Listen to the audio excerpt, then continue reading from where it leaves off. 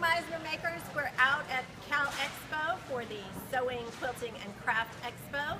There's quite a line that's starting out the door here, so we're pretty excited for things to kick off in about 10 minutes.